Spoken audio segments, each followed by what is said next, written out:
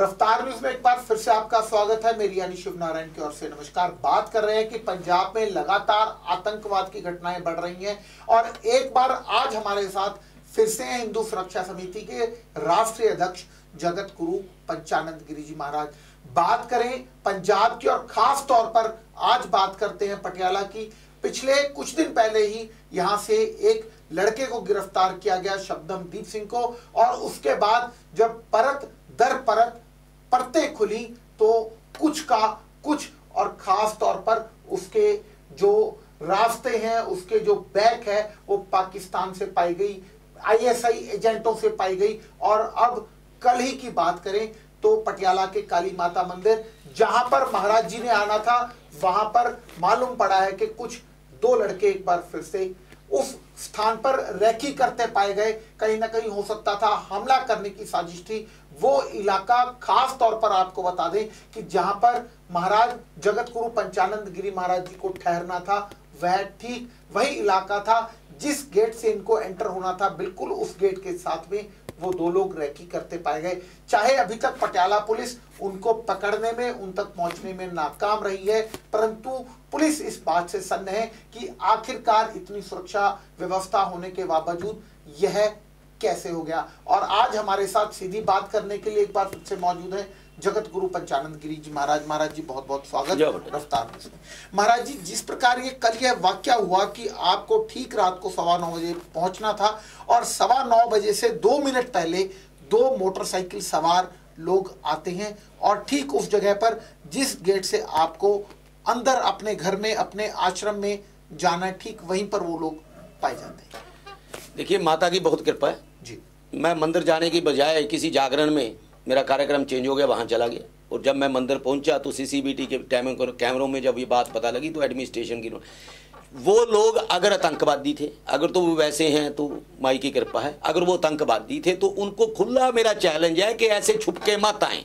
उनके पास सबके पास नंबर है सब कुछ है। अस्सी से लेके आज तक उनकी ऐसी की तैसी देते हैं और देते रहेंगे। ये ऐसे रैकिए रुकिए करके कुछ नहीं कर सकते। मैं खुला ऐलान करता हूँ कि जहाँ खालिस्तानियों का मन करता है हम उन्हें मिलने को तैयार हैं। दो दो हाथ हो हमारे से। ऐसे चुप जाइए तो बुजदलों वाला काम है। जी। ऐसी बुजदली ना हम डरने वाले हैं ना हम डरे इन बातों से कि आगे चले गए। जहाँ जैसा दिल करता है क्योंकि 80 से लेकर तिरानवे तक का आतंकवाद भी हमने देखा। अब भी लगातार तीन साल से इन लोगों के साथ जूझ रहे हैं। तो हम एक बड़ी स्पष्ट बात करते हैं कि ये दलेर बहादुर लोग नहीं। पंजाब में 80 से तिरानवे तक आतंकवाद रहा। हम उस समय भी पंजाब में थे आज भी पंजाब में। भगोड़े ये खालिस्तानी हुए हैं। बाहर ये बैठे हम नहीं महाराज जी आपकी इन्हीं बातों के कारण कहीं ना कहीं लगता है कि खालिस्तानी आपसे ये लोग जो कट्टरपंथी हैं आपके और और आक्रोशित हो जाते हैं और गुस्से में आ जाते हैं। ऐसा है जैसे मर्ज़ी आए मैं तो एक बात कहता हूँ कि वो विदेशों में बैठ के कहते हैं कि हमने 2020 में फंडेड पंजाब में खालिस्तान बनाना। तो मेरी सिंपल सी बात है कि आपने जब से पंजाब से भगोड़े हुए, सारी ज़िंदगी लगा दी वहाँ का पीआर नंबर लेने के लिए, कनेडा का, जर्मनी का। अगर माँ का दूध पिया तुमने वहाँ का पासपोर्ट पाओ, आड़ो। फिर हमने देखे पंजाब में खालिस्तान की बात करते हो ना? तो कनेडा, अमरीका में बैठ के क्यों कर रहे हो? पंजाब में आके करो। उस समय भी तुमने पंजाब में की थी तुम्हें भगाया हम नहीं भागे। महाराज जी आपको डर नहीं लगता? आप इस बात का भगवान आप आप कट्टरपंथी की बातें करते आप आक्रोशित बातें करते आप सीधा चैलेंज देते हैं लोगों को आपको डर नहीं लगता? व्यक्ति को सबसे पहले राष्ट्र प्रेम में आना चाहिए फिर धर्म का प्रेम। जितने सांस उस परम पिता परमात्मा ने लिए उतने लेने हैं। जिसको रखे साइया मार सके ना को बाल ना बांका कर सके जाए जग बैरी हो। तो 80 से लेके आज तक हमारा कुछ नहीं बगाड़ सके सले अब क्या बगाड़ेंगे ये? ये लोग हमेशा भाग्य हैं। ये तो निहत्तों में बार करते हैं। हमने तो कई बार इनसे टाइम फिक्स किया हम लोग गए कभी आए ही नहीं है। जी। हमने तो कहा कि आओ। हम लोग अगर बात ये है हम उनको कहते हैं कि पंजाब के अंदर जब राज ठाकरे ने उत्तर भारतीयों का विरोध किया था तो राज ठाकरे का भी विरोध सबसे ज़्यादा हमने किया था। कि भिंडरा वाले या राज ठाकरे में फ़र्क क्या है? जी, जी, जी। ये कह रहे हैं कि पंजाब में खालिस्तान बनाएँगे वो कहता था हम राखी रहेंगे सिख आपसे इतनी नफरत क्यों करते सिख नहीं नफरत करते खालिस्तानी या भिंडरा वाले के लोग करते हैं। सिख तो दस बीस हज़ार लड़के मेरी संस्था में है जो खालिस्तान और भिंडरा वाले की सोच के खिलाफ है। जो अमन और चैन चाहते हैं जो सही गुरु ग्रंथ साहब के मार्ग पे चलते हैं। क्योंकि गुरु ग्रंथ साहब में लिखा है सभी सिखन को हुक्म है गुरु मान्यो ग्रंथ।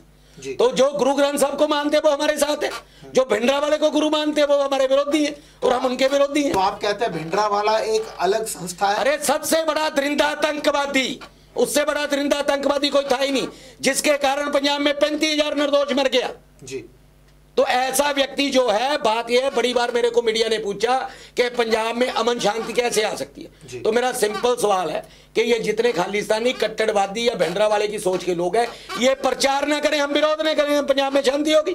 तो- पहल ये करते हैं। तो महाराज जी इनकी तो जगह जगह कारों पर देख लो मोटरसाइकिल पे देख लो फ़ोटो लगी होती है भिंडरा वाले की और उस पर बाकायदा लिखा होता है कि हम इनके समर्थक हैं। ऐसा है एक स्टिकर इनका आया था। जी। जिस स्टिकर पे इन लोगों ने लिखा था।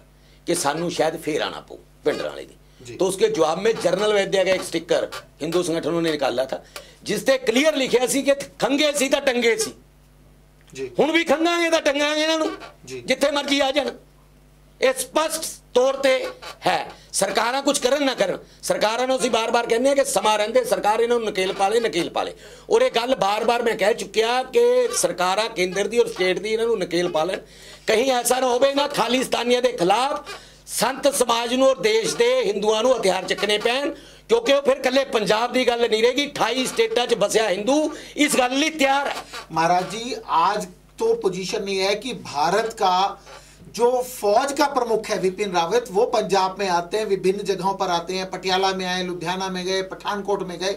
उन्होंने सभी जगह एक बात कही कि पंजाब में आतंकवाद पनप रहा है। सेना प्रमुख का ये कहना तो पनप कह रहा है? पनप चुका। तो ये शर्म की बात नहीं है कहीं ना कहीं पंजाब के लिए और देश प्रमुख के लिए। सबसे पहले सबसे पहले तो केंद्र के लिए शर्म की बात। जी। क्योंकि केंद्र के इशारे पे डीजी जितनी इंटेलिजेंस जितने अफसर हैं वो केंद्र के मुलाजिम हैं। जी। तो केंद्र आज तक जो कट्टरवादियों की सामग्रियाँ बिक रही हैं जिसमें वो सरेआम कहते हैं हमने इंदिरा मारी उन पे नहीं केंद्र बैन लगा सका आज तक। जी। कितनी बड़ी शर्म की बात है। अभी अम्बाला के एक एसपी ने भिंडरा वाले को शहीद करार कहा था। जी। तो उसकी इंक्वायरी होम से हमने करवाई है। हम सिंपल सी बात कह रहे हैं कि अगर भिंडरा वाला शहीद था सरकार कहती है कि शहीद था। तो सरकार ब्लू स्टार ऑपरेशन पे इंदिरा गांधी जितने अफसर थे उन पे 302 का पर्चा दर्ज कर दे। फिर तो ब्लू स्टार ऑपरेशन गलत हो गया अगर वो शहीद था। अगर वो शहीद नहीं। भारत की फौज ने किया था अगर वो नहीं फौज में भी पर्चा होना चाहिए ना फिर। अगर वो आप शहीद कह रहे हो उसे। अगर वो शहीद नहीं एक आतंकवादी है तो हरमंदर साहब में उसकी मीनार कैसे बनी हुई है? उसकी फ़ोटो कैसे लगी हुई है? तुरंत सरकार को एक्शन लेके उतारनी चाहिए। मतलब कहीं ना कहीं भिंडरा वाली की सामग्री से नए जो सिख युवक है, उन्हें गुमराह करके आतंकवाद के रास्ते में ले जा रहे हैं। सरकार एक्शन नहीं ले रही इसीलिए ऐसे हालात पैदा हो तो महाराज जी एक बात बताएँ जो लगातार पिछले कुछ दिनों से ये माहौल पनप रहा है जो छोटे छोटे आतंकवादी पनप रहे हैं जिनका कोई आगे का और पिछवाड़े का कोई रिकॉर्ड नहीं है आतंकवाद आतंकवाद की घटनाओं से दूर दूर का ऐसे लोग जो पनप रहे हैं कहीं ना कहीं इनके पीछे पाकिस्तान की आईएसआई है तो ये लोग पाकिस्तानी हैं जो इस तरह की घटनाओं को बढ़ावा दे रहे हैं। ऐसा है पाकिस्तान की आईएसआई एजेंसी का क्योंकि बॉर्डर स्टेट है हमेशा ही रो रहा है डिस्टर्ब करने को। जी। लेकिन ये जो लोग पनप रहे हैं जैसे अब ये ननकारी कांड में दोनों आतंकवादी इनका पिछला बैकग्राउंड क्रिमिनल नहीं था। जी। लेकिन इनको मेंटली दिमाग वाच कर दिया गया और पैसा दिया गया। आज पैसा देके ज़्यादा आतंकवाद का काम किया जा रहा है। जैसे गैंगरोस्टों को पैसा दिया जा रहा है। तो कहीं ना कहीं उन्होंने अपनी नीति चेंज कर दी। इसके लिए सरकारों को बहुत कह रहा है जैसे आज हम ये बात कर रहे हैं तो पंजाब के अंदर अभी जलंधर में स्टूडेंट पकड़े गए कश्मीरी। जिनके पास असला भी पकड़ा गया आतंकवादी भी पकड़े गए। ग्रेनेड्स तक ठीक है? तो हमारे यहाँ पे अब सर्दियों के दिन स्टार्ट हो गए। जितनी धर्मशालाएँ हैं, उनमें कश्मीरी हैं उनका पुलिस के पास डाटा ही नहीं है। तो जब स्टूडेंटों को आईएसआई आतंकवाद के रास्ते पे लगा सकती है तो छोले बेचने वालों को तो जल्दी लगा सकती लगा है। सकती जैसे अभी शादियों का सीज़न आने वाला है तो सारे पैलसों के लोग बेटर सस्ते मिलते हैं कश्मीरी। तो कश्मीरी बेटरों को पसंद बन चुके वो।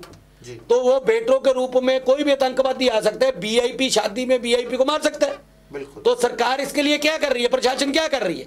इन चीज़ों की चेकिंग होनी चाहिए। मैंने पीछे एक हफ़्ता पहले कहा था कि इनके आईडी कार्ड लिए जाए। अगर सरकार नहीं करती तो हिंदू तक खुद ही अपनी चेकिंग कराएगा इनकी। तो महाराज जी हिंदू तख्त चेकिंग कराएगा भले।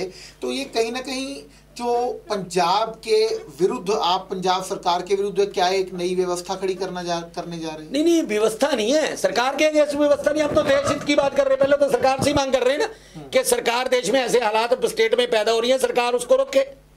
नहीं कभी आप कहते हैं आतंकवादी सरकार कंट्रोल नहीं करेगी तो हम हिंदू कंट्रोल करेंगे। नहीं नहीं अगर सरकार ये नहीं करेगी तो हम करेंगे। अगर भाई सरकार करेगी नहीं तो हिंदू को तो हथियार उठाना पड़ेगा ही पड़ेगा। हम्म, तो कहीं ना कहीं आपके सीधा सरकार को चैलेंज नहीं सरकार को चैलेंज है उन आतंकवादियों को चैलेंज है। जब सरकार उन्हें नहीं रोक पा रही हमें कैसे रोकेगी? हमें कैसे रोकेगी? बताओ जरा। जी। चाहे वो केंद्र है चाहे वो स्टेट है। सरकार ये अगर संदेश देती है कि हथियार से बात समझ आती है तो लास्ट में हिंदुओं को ऐसा करना ही पड़ेगा। तो सरकार अगर व्यवस्था नहीं करेगी तो उसकी व्यवस्था हिंदू खासतौर पर हिंदू करना सुरक्षा- पड़ेगा। हिंदू सुरक्षा समिति करने करनी के लिए। तैयार है यह बात। है तो हम बात कर रहे थे जो आप कल ये दो लोग पकड़े गए।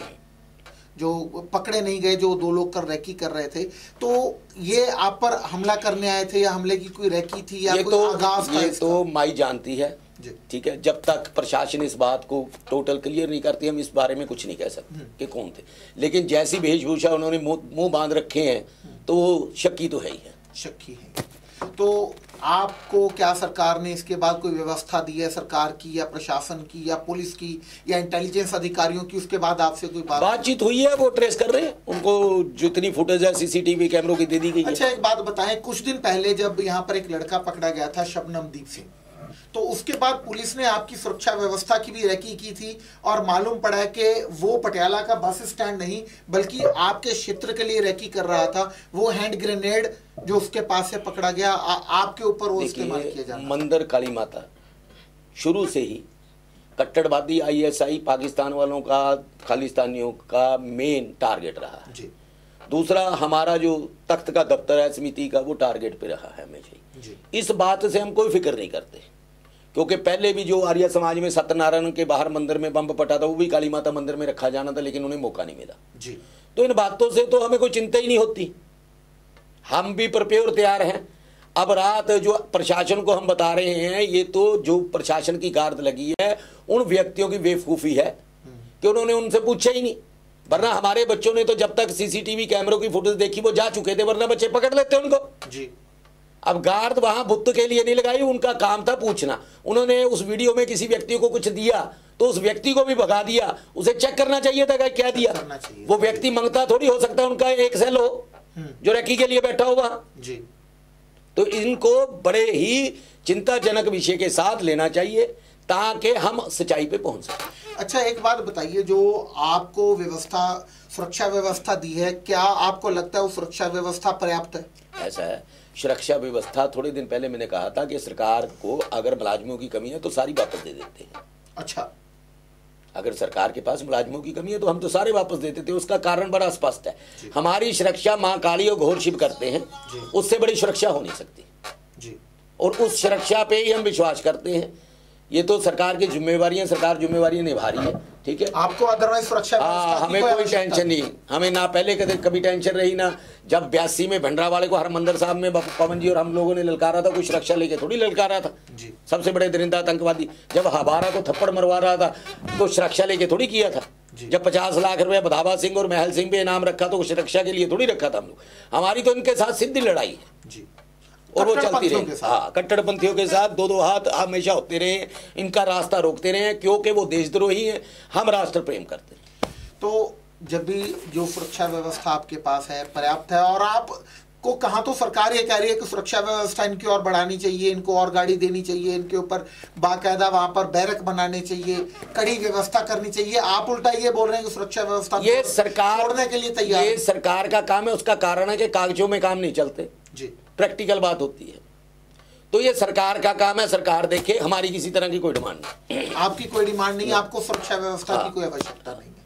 अगर सुरक्षा व्यवस्था सरकार वापस लेना चाहे हमें कोई दिक्कत नहीं। और बढ़ाना चाहे बढ़ाए। वो उसकी सिरदर्दी है हमें कोई दिक्कत नहीं किसी भी तरह तो आपको जो गाड़ियाँ वगैरह दी हुई हैं सरकार कह रही है कि और गाड़ियाँ बढ़ाई जाएँगी। वो सरकार की चिंता है हमारा विषय ही नहीं है। तो आपको इस बात का डर नहीं लगता कि वो लगातार आपको धमकियाँ देते नहीं नहीं नहीं हमें कोई फ़र्क नहीं पड़ता। आपको कोई फ़र्क नहीं पड़ता। तो आपको बता दें कि महाराज जी ने सीधा चैलेंज भी किया है कि इन्हें कोई फ़र्क नहीं पड़ता है, चाहे सुरक्षा सरकार व्यवस्था बढ़ाए या सुरक्षा व्यवस्था घटाए, चाहे वह पुलिस और बढ़ा दे, चाहे वो पूरी की पूरी पुलिस वापिस ले ले।